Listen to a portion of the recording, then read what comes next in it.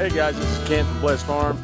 I'm going to bring you some information today about how to clean calcium stained windows with vinegar and water solution. Stick with me and we'll see you here in a minute. All right, you doers, I'm going to show you here. I take some half and half vinegar and water, make a spray out of it. Spray it on these windows that are uh, stained with calcium buildup and the sun beating down in here in East Texas and it puts a film on that just won't come off with just washing it. So you have to scrape it off with a razor blade and then wipe it clean. So let me show you here.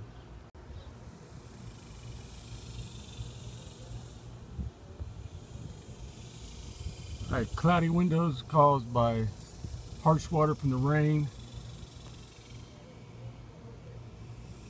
and sun beating right down these windows. I'm gonna spray it down here with some vinegar and water. We're going to scrape it down with a razor blade.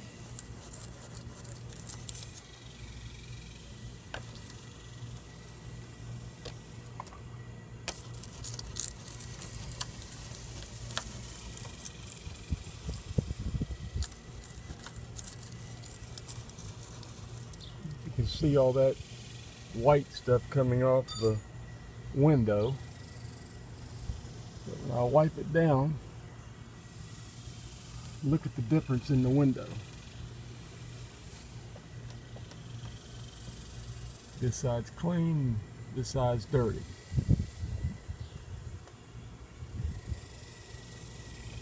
Some windows are a lot worse than that. You see right here, here's the clean side on this side, and over here is the white chalky surface. And if you see on this one, you, you try to scrub it off without anything and it doesn't really come clean. It does a little. What I did, I made a mixture up with some vinegar and, and water.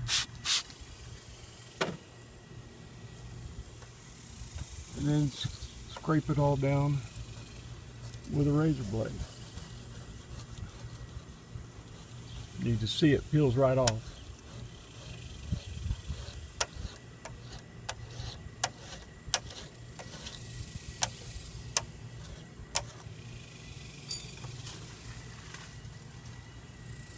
And go back over it with a dry cloth.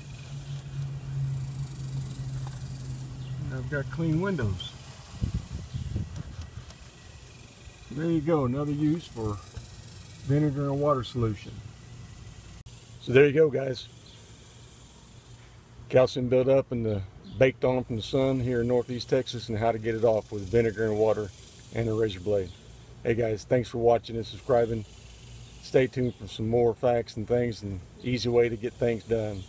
This here's Ken at Blessed Farms and y'all have a blessed day and live well.